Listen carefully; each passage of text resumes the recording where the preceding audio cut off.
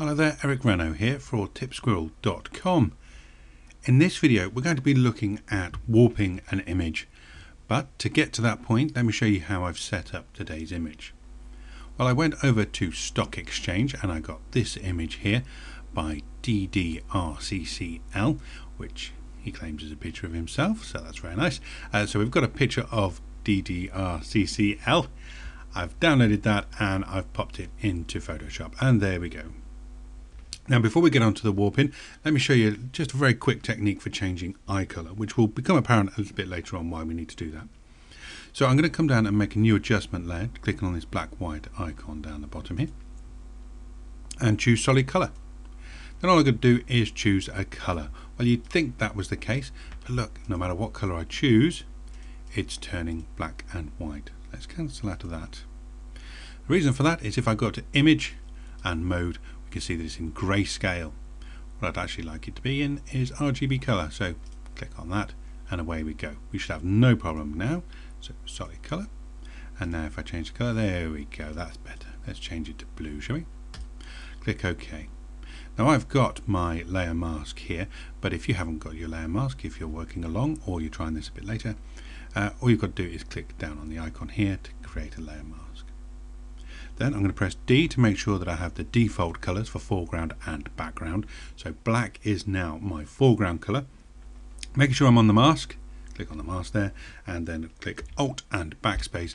I fill the mask with black. Now that makes it much easier just to work on the eyes. If I get the zoom tool here and zoom in, just drawing a marquee around his eyes there, and then make sure I'm still on the mask, and then flipping my foreground and background colours using X and then getting the brush. I've got quite a small brush here but it has got a nice soft edge. I'm just going to paint in where I want my colour to be. Now I'm using the mouse I'm a bit shaky so excuse me.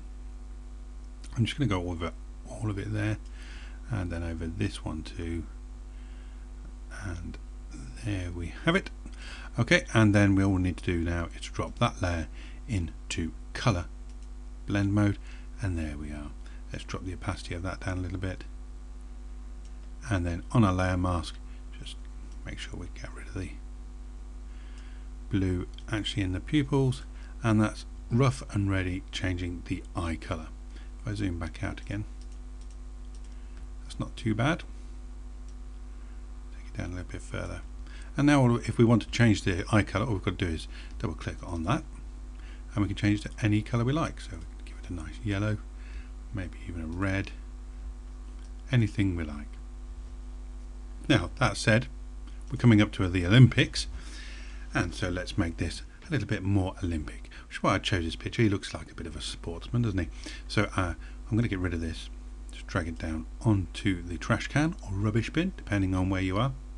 And what I'm going to do is I'm going to go and grab this Union Jack. I'm going to use my move tool. Just go and grab this and drag it over. Now you can use anything you like of course. I'm using Union Jack because I'm British. And I'm just going to drop it on somewhere near his eyes. Again using the zoom tool I'm going to come right in just so I can see what I'm doing. Press spacebar to get the hand so I can move it to where I want it to be. Back to the move tool now and you can see that I can position this roughly where I want it to be. And I can change that blend mode to colour so we've got a general idea of what's going on here. But it doesn't look very realistic, it's kind of slapped onto his eye. So this is where we're going to use the warp tool. So if I press Control and T for transform, you can see up here I've got three icons. Don't do it. Yes, thank you very much. And this one here, which takes us into warp. So let's go into warp. Now we can use our transform handles here and we can warp it around, but let's take a little bit of a better look at warping. And come over to our little drop down menu here. You see where it says custom. If I click on that we have all kinds of presets. So I'm guessing that twist probably isn't going to help us here but it's a nice little effect. Squeeze all kinds of things. I'm not sure fish is going to help us. Not at all. Um, but bulge might do. Uh, let's go and look at bulge.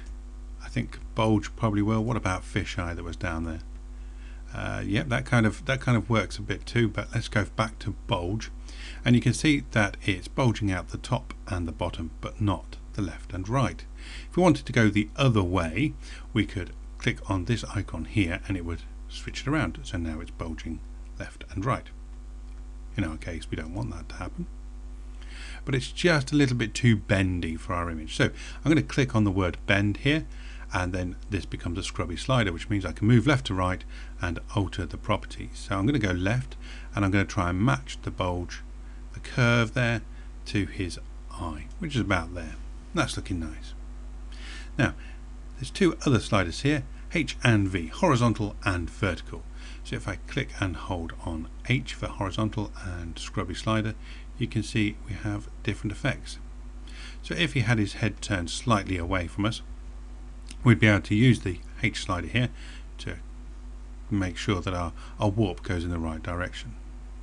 In fact, he's not really that turned, he's quite square on, isn't he? So we don't really need much of that. But again, I'll try and match it as closely as I can to the curvature of his eye. Vertical, well, if he was tilting his head, then we could uh, match it with those ones too. Again, he's really not, so I'm going to put that one back to zero. There we go. Good. Okay, so we're getting there. Let's click the tick and see how we're getting on. That's not bad at all. I'm going to control T and just transform it down. Now this time I am going to hold shift to constrain the proportions, but then I'm going to hold alt as well, and that constrains the proportions and transforms from the middle, which I've lined up my middle with the pupil. So yeah, that's kind of what I wanted to do. Okay, let's go just about over the top of his eyes and then I can let go of both shift and alt and move these in very slightly. Now I do want it to overlap just so we can blend it in a little bit better a little while. Okay now remember that fisheye? Let's go and use that shall we? Just to give it a bit of a, a bulge. Fisheye. And just round it off nicely in there in fact that does match very nicely the uh, round of his, of his eye but we could always change that as well of course using our sliders in much same way as we did just a minute ago. Okay I'm happy with that. And I click the tick. And there we have it. So now I just add a layer mask choose D and X to make sure that black is my foreground color. Get a brush and then just go around the outside of the eye here just to get rid of anything we don't want. Obviously you can take a lot more time with it but for the purpose of this video I don't want you to sit there and watch me working away for hours on end. Okay let's zoom back out again.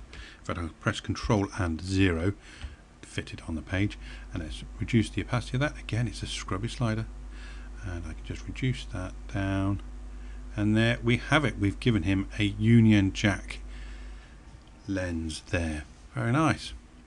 Okay, there we go. All I need to do now is repeat that for the other, the other eye. I'm not going to make you sit here and watch me do that, but you get the general idea. Thanks for watching. If you've enjoyed this video, please check out all the other tutorials at tipsquirrel.com written by some amazing people with great talent and a lot of generosity. They do it for free so that we don't have to charge for you to read them. Thank you very much I'll see you next time.